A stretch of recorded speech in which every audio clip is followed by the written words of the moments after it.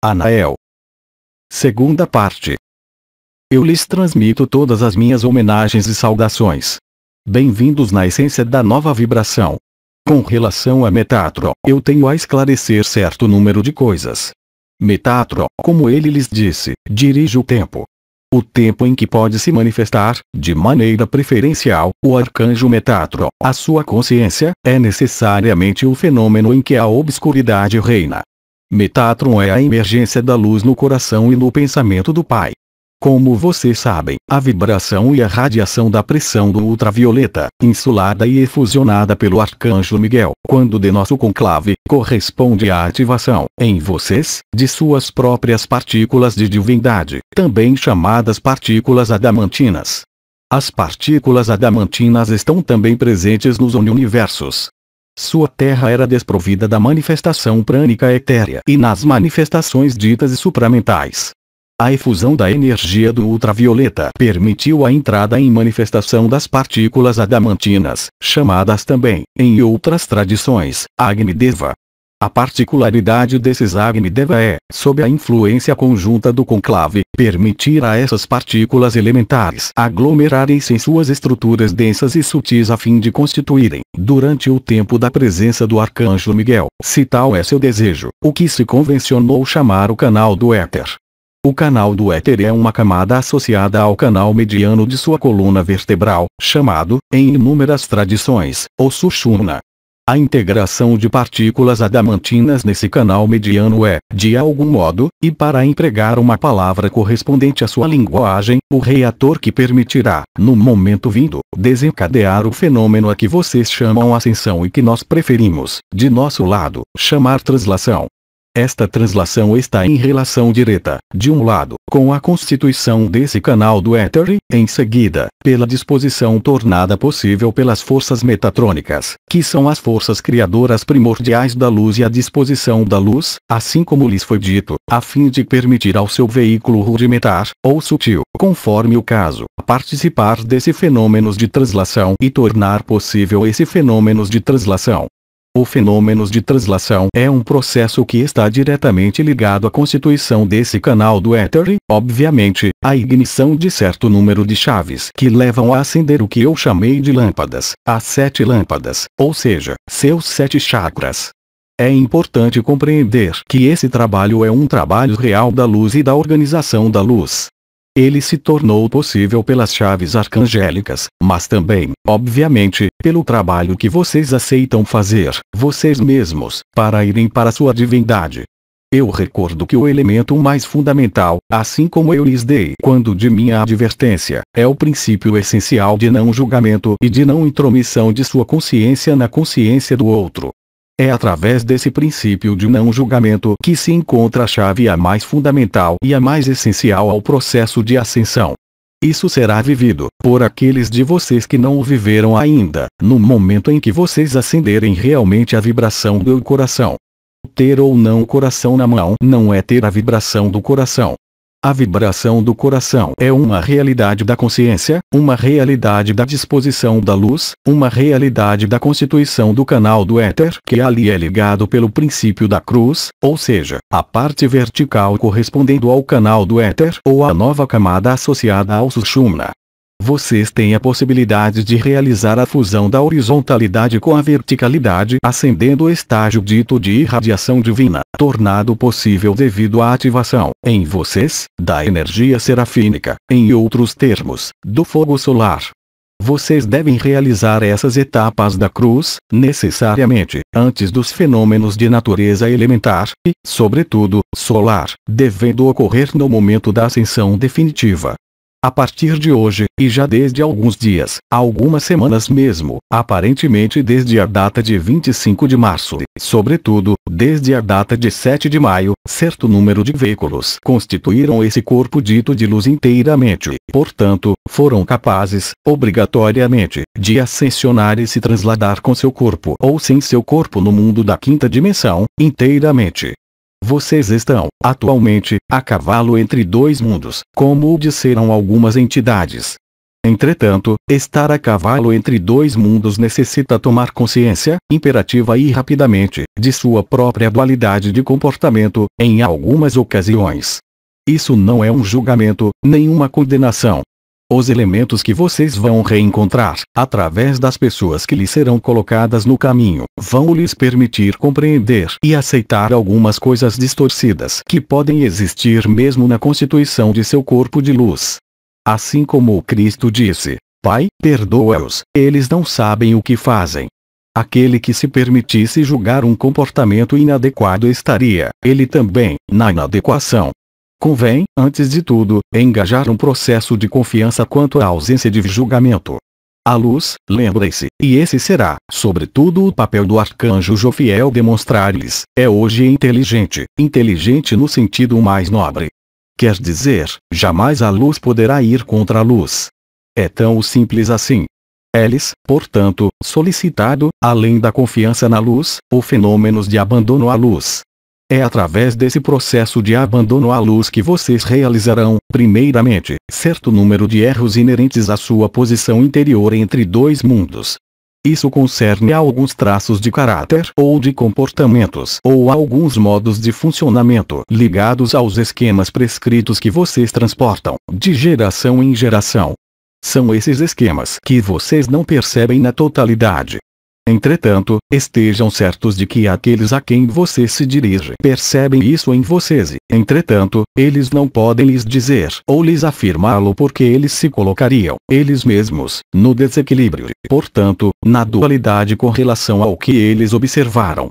Convém, naquele momento, que vocês estejam na posição daquele que vê ou daquele que é visto em seu defeito, confirmar seu abandono à luz e deixar a luz trabalhar em vocês, a fim de lhes revelar o que deve ser revelado, a fim de lhes permitir irem para o caminho da constituição desta cruz gloriosa em sua interioridade, ou seja, juntar-se ao caminho do Cristo. Não há outra coisa a fazer além disso. O resto são apenas construções mentais, jogos ligados à ilusão da 3D dos quais vocês participam ainda, agora, com relação a esse processo. Antes de ir mais adiante na apresentação do arcanjo Jofiel, gostaria de saber se vocês têm coisa a dizer, em sua língua.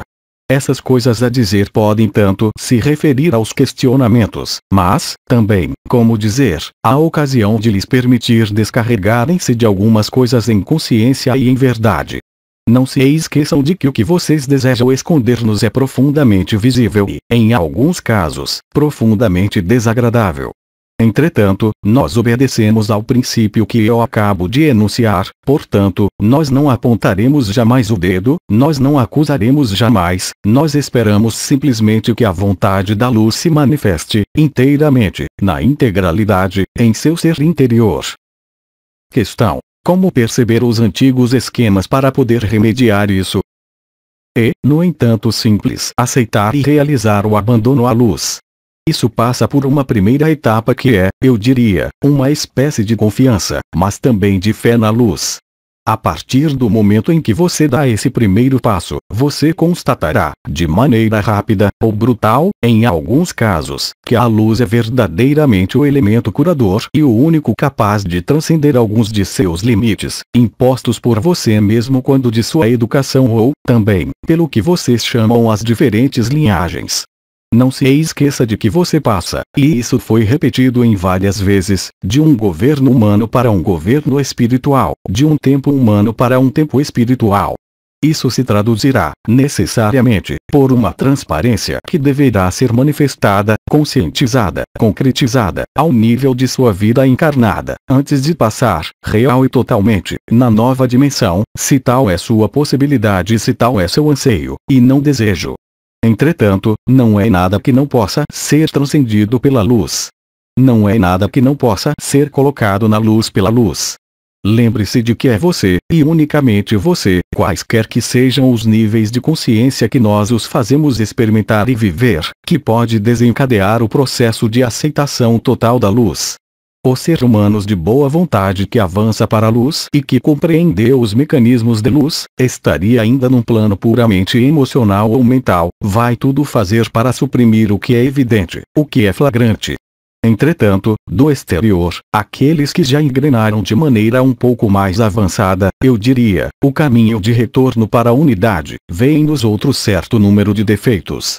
Mas eles não podem apontar o dedo, ou falar desse defeito, senão, vocês compreenderam, eles se colocariam, eles mesmos, na dualidade portanto, voltariam a descer, eu diria, de um estágio bastante importante. É preciso efetivamente compreender que vocês passam de linhagens humanas às linhagens espirituais. Vocês não podem manter as linhagens humanas e pretender participar das linhagens espirituais. Isso significa que vocês devem eliminar toda noção de filiação humana. Enquanto vocês permanecerem sob a influência da filiação humana, vocês não poderão participar da filiação espiritual. Do mesmo modo, os esquemas de funcionamento, ancorados em você e invisíveis aos seus olhos e à sua consciência, para você mesmo, mas visível do exterior, mas, no entanto, não podendo ser mostrado por aqueles que os veem em vocês, sob pena de dualismo, obviamente, necessitam um abandono ainda maior à luz. A luz, a partir do momento em que você aceita seu trabalho no interior de você, agirá realmente, profundamente, para apagar essas zonas de sombra. Mas, em particular, as filiações humanas, ou seja, tudo que concerne as relações afetivas, familiares, genéticas, transgeracionais e ligadas aos apegos, devem desaparecer e cessar, de maneira irrevogável. Vocês não podem pretender manter um nível de consciência elevado e continuar a manter os esquemas vindos do que se chama a terceira dimensão que foi necessária durante um tempo suficientemente longo. Hoje, aí está o que importa, não talvez é compreender, mas, ao menos, a terem escutado, para lhes permitir, a uns e outros, passarem desta filiação humana à filiação espiritual. Isso não querendo dizer, obviamente, que é preciso rejeitar aqueles a quem vocês chamam seus parentes ou suas relações afetivas, mas, ao contrário, transcendê-los para vê-los com um olhar novo, aquele que restitui a liberdade ao outro e que não o sujeita ao próprio modo de pensamento de vocês ou a um modo de pensamento ligado a uma linhagem humana, qualquer que seja. Isso é válido para as correntes espirituais do passado, vocês se tornam seres capazes de lucidez e convém encarar tanto os princípios eminentemente importantes, como o princípio crístico ou o princípio budista com um olhar novo, despojado totalmente de qualquer noção de filiação a uma ordem ou a uma religião. Não pode ser de outro modo. Vocês viveram sob a influência de certo número de raios que foram necessários, durante fases precisas de sua evolução, mas não se esqueçam de que o Pai é transformação, de que a luz é transformação. Nos multiuniversos vocês não podem, portanto, pertencer a um modo de funcionamento passado e pretender aceder a um modo de funcionamento novo. Tudo que vocês vivem hoje é novo. Tudo que vocês vivem hoje é uma página nova. Tudo que vocês vivem hoje é uma nova etapa de seu crescimento e de sua vida. Trata-se de uma revelação do que vocês são. Vocês não podem manter o que, no entanto, foi necessário, e muito útil, e recomendável, nos tempos pertencentes ao passado desta terceira dimensão e acederem, ao mesmo tempo, à quinta dimensão.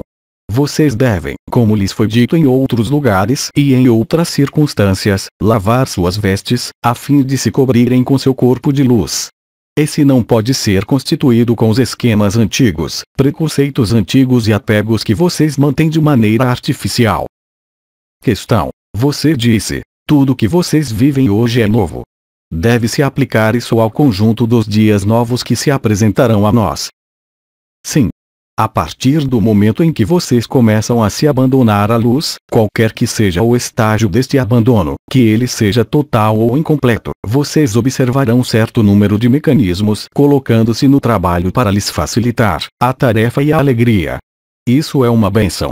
Vocês estão lúcidos, vocês são seres conscientes, independentemente mesmo da luz e independentemente de sua posição a cavalo entre duas dimensões.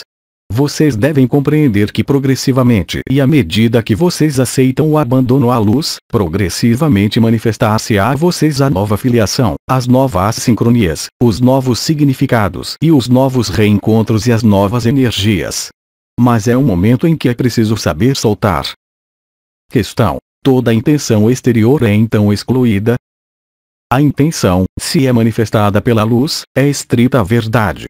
Se ela é manifestada por qualquer vontade, inconsciente ou consciente, de manipulação, vocês se aperceberão muito rapidamente que esta intenção não é da ordem da luz.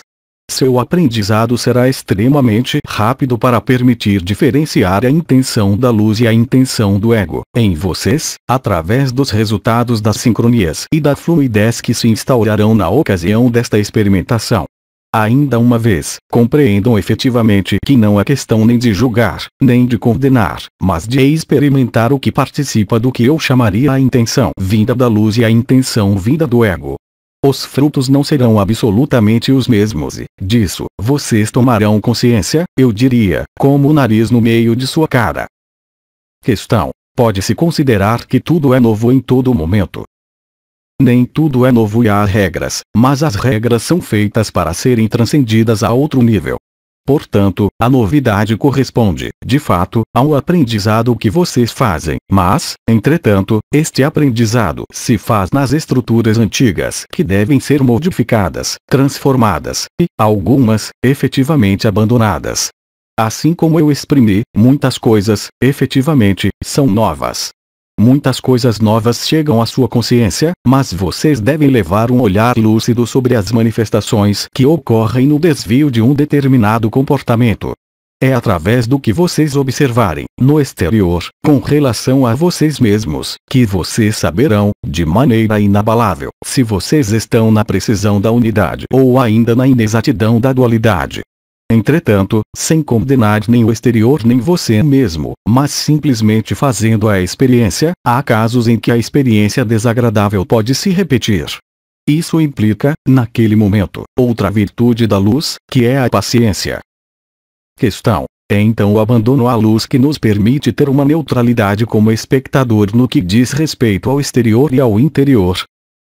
É mais do que a neutralidade, a neutralidade pode ser uma saída com relação a uma falta de responsabilidade.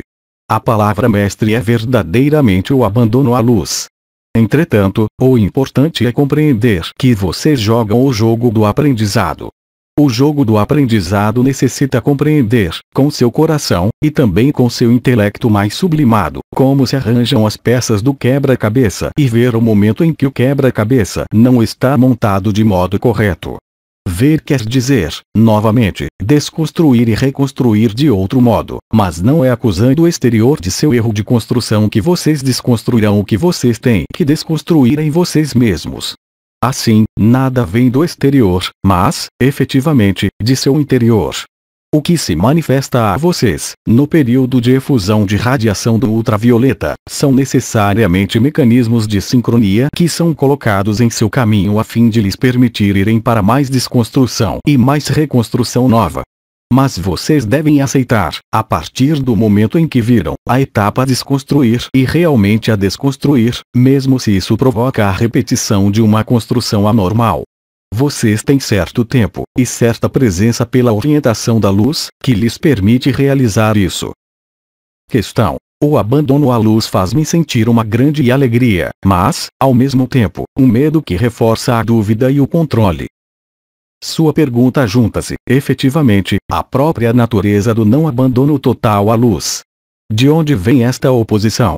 Ela vem do jogo de seu mental, não é um jogo emocional, é um jogo de sua estrutura mental que funciona de acordo com o modo da razão.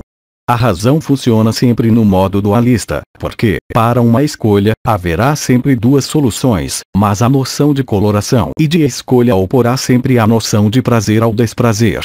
Portanto, se vocês permanecem sob a influência desta noção, vocês persistem nos esquemas de funcionamento ligados à dualidade. A unidade não conhece nem prazer nem desprazer. A unidade não conhece a noção de utilidade ou de inutilidade. A noção de agradável ou desagradável. A unidade é tudo. Simplesmente, isso corresponde ao que lhes estabeleceu, ao nível vibratório, o arcanjo Metatron, ontem à noite. O famoso Eu Sou. Estando no Eu Sou, pronunciado, em hebraico, e, o e permite apagar a dualidade. Isso participa do abandono à luz. O que faz com que, pelo momento, vocês tenham a impressão de não se abandonarem à luz? E, obviamente, o que vocês chamam o pequeno eu, seu ego, que recusa entrar no se unidade. Vocês viveram quando das primeiras efusões da radiação do ultravioleta que nós emitimos para vocês, a capacidade de realizar, ao nível de seu Manipura Chakra, ou se unidade. Eu os remeto às palavras que foram pronunciadas naquela ocasião pelo Arcanjo Miguel, porque elas lhes darão todos os esclarecimentos, a fim de realizar, antes de penetrar a etapa da unidade ao nível do coração, ou se unidade ao próprio nível de seu ego. Questão que significa esta alegria interior espontânea, sem motivo exterior? Não há necessidade de explicação com relação à alegria interior. A alegria interior participa do eu sou. Ela é a alegria da presença reencontrada, a alegria da irradiação da unidade reencontrada. Ela não tem necessidade de significado outro além do que ela é mesmo querer colocar palavras e encontrar uma explicação com relação à alegria da unidade, ao que vocês chamam o samadhi, os faz instantaneamente sair do samadhi, porque não se trata de modo algum do mesmo nível de referencial. Vocês não têm que colocar palavras no eu sou. O eu sou é um estado que se vive. Sendo um estado que se vive, ele se basta por si, por sua conexão à fonte. Não há significado, não há significação, além do ser eu sou. Questão: A experimentação não arrisca nos queimar as asas. O fogo espiritual nada tem a ver com o fogo material. O abandono e o medo de se queimar, ou o medo de se enganar, faz parte do jogo de seu mental. Colocar esta questão significa que permanentemente vocês estão na noção de controle entre a noção de prazer barra desprazer, de eficácia barra ineficácia, ou ainda de bem e de mal. Não pode haver mal na luz, a visão do mal é uma visão que eu qualificaria de maniqueísta, que foi necessária devido à experimentação que vocês escolheram e decidiram desde certo número de ciclos, para alguns. Entretanto, convém compreender que, a um dado momento, o modo de conduta de sua vida é diferente. Isso pode corresponder, se gostam de imagens, a passar da bicicleta ao automóvel, vocês não têm mais necessidade de pedalar quando vocês estão num automóvel, se não estão num automóvel a pedais, o que concerne a uma idade específica de suas vidas. É como se vocês estivessem num automóvel potente e vocês procurassem ainda os pedais. Questão: Como educar o melhor possível os filhos sem estar num jogo de poder? Se você estivesse suficientemente na realidade da luz na quinta dimensão, o que não é ainda o caso, obviamente, você poderia, simplesmente por sua irradiação, sem poder, sem outra orientação além daquela da luz, educar e criar seus filhos. Para aqueles de vocês que são pais, qualquer que seja a idade dos referidos filhos, que não são seus filhos, eu os lembro, antes de tudo, cultivar sua luz, cultivar seu abandono, e vocês constatarão que as coisas acontecerão de maneira muito mais fluida. Eu não quero dizer com isso que elas acontecerão de maneira conforme as suas expectativas, com relação aos comportamentos dos filhos que seriam inadequados, porque eles participam também, mesmo se estão, já, antes de certa idade, na luz, a formas matriciais induzidas, obviamente, por sua sociedade, que tende a afastá-los da luz autêntica. Mas se você mesmo volta a se tornar esta luz e esse farol, bem, eles irão para onde houver a luz, espontaneamente. Mas isso necessita fazer um trabalho de abandono importante de você mesmo. Você não pode exigir dos filhos que eles se comportem segundo suas regras, se você mesmo não se comporta de acordo com o que você quer, ou seja, as regras da luz. Você não pode pretender, em outros termos, o abandono de seus filhos à sua vontade, se você mesmo não está abandonado à vontade da luz. Se você não está abandonado à vontade da luz, isso significa que resta em você, assim como eu exprimi, certo número de oposições ou, se prefere, zonas de sombra. Como você quer, nessas condições, que seus filhos sigam a luz, uma vez que você mesmo manifesta a sombra, qualquer que seja a idade desses filhos. Questão: o afastamento do cônjuge é uma consequência de uma dissonância das vibrações ou de uma falta de abandono à luz? Há situações ligadas às pessoas, ligadas aos apegos, ligadas aos lugares de vida, ligadas aos comportamentos, que se afastam necessariamente de vocês porque vocês não participam do mesmo plano vibratório e do mesmo plano evolutivo. Entretanto, seria um erro fundamental querer fazer participar, a todo custo, o cônjuge, ou uma relação afetiva, ou uma relação filho-pai, de sua própria evolução. Você prejudicaria, com isso, a própria evolução da alma que vocês querem, assim dizendo, proteger ou elevar. Essa é também uma forma de manipulação.